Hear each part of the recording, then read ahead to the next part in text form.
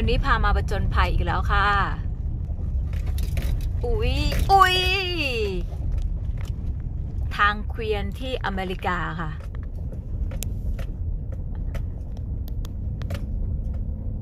นี่ มาชมล็อกคาบินอีกหลังหนึ่งนะจ๊ะวันนี้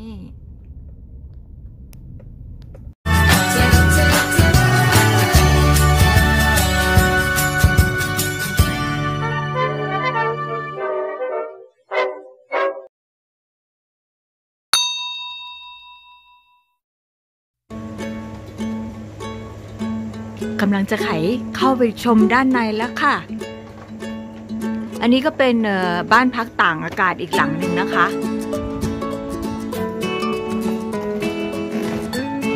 แทนแทนแทน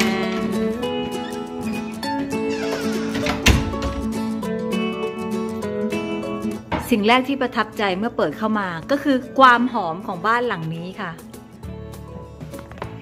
งดงามไหม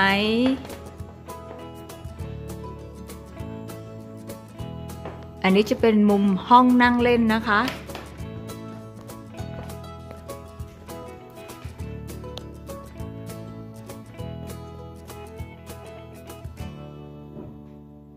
ตรงนี้นะคะมองจากมุมห้องนั่งเล่นค่ะ มองด้านไปด้านบนนะคะ เราก็จะเห็นทางเดินระหว่างห้องทางด้านซ้ายมือกับทางด้านขวามือค่ะ ล็อกคาบินหลังนี้จะมีสามชั้นนะคะ ก็คือชั้นใต้ดิน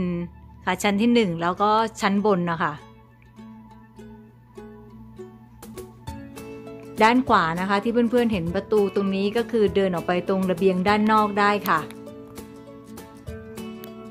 ชมวิวธรรมชาติยามเช้า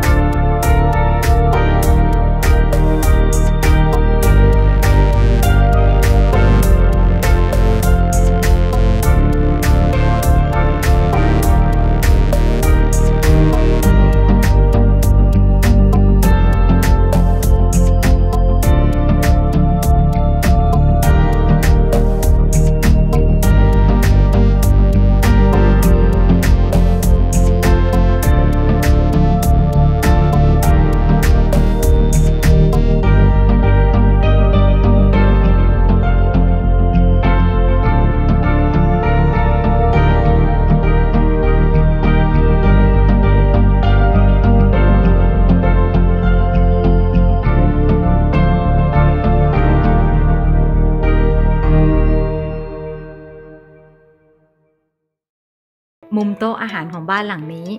น่ารักไม่เอ่ย รองรับได้ทั้งหมดประมาณ 8 คนค่ะ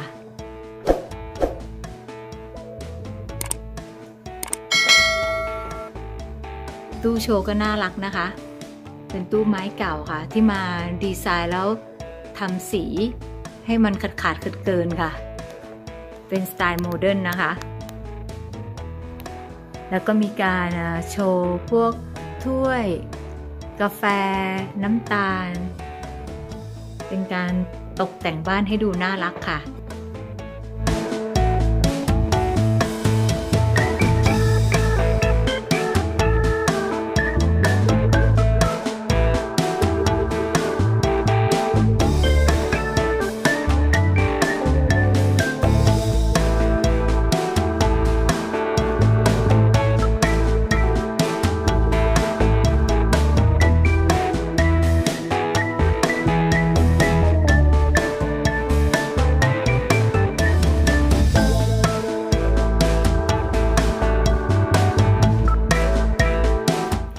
มข้างบนไปแล้วนะคะ ตอนนี้ก็จะพาชมด้านล่างบ้างค่ะ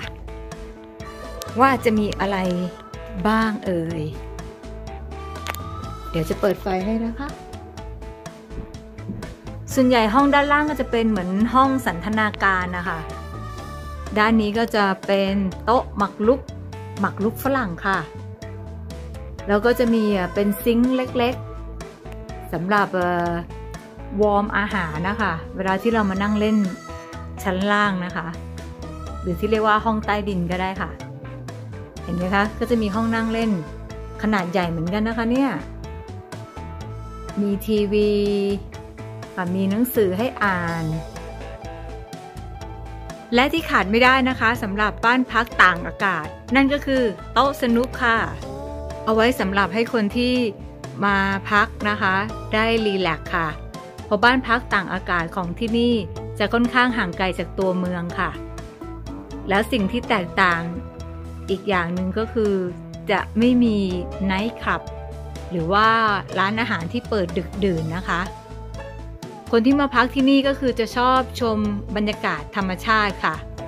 เพราะที่บาวเคาน์ตี้จะขึ้นชื่อเรื่องธรรมชาติ แล้วก็เราจะมี